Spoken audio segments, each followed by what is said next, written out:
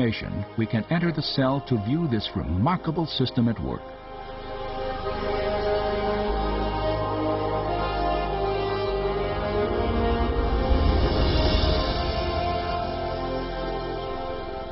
After entering the heart of the cell, we see the tightly wound strands of DNA, storehouses for the instructions necessary to build every protein in an organism.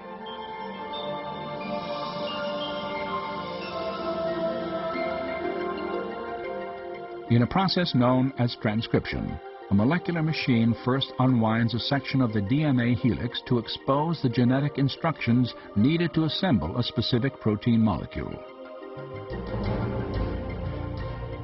Another machine then copies these instructions to form a molecule known as messenger RNA.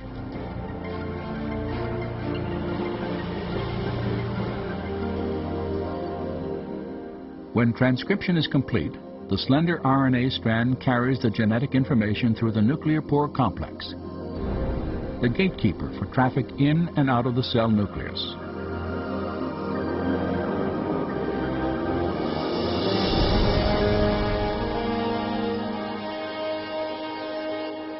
The messenger RNA strand is directed to a two-part molecular factory called a ribosome. After attaching itself securely, the process of translation begins.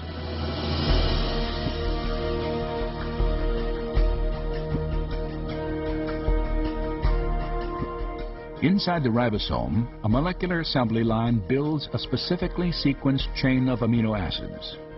These amino acids are transported from other parts of the cell and then linked into chains often hundreds of units long. Their sequential arrangement determines the type of protein manufactured.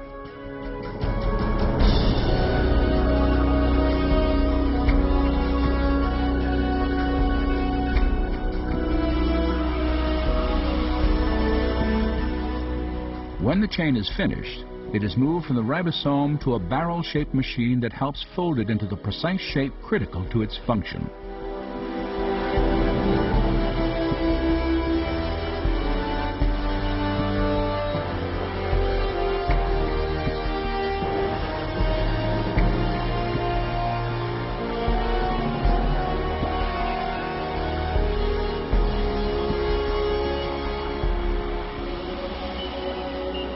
After the chain is folded into a protein, it is then released and shepherded by another molecular machine to the exact location where it is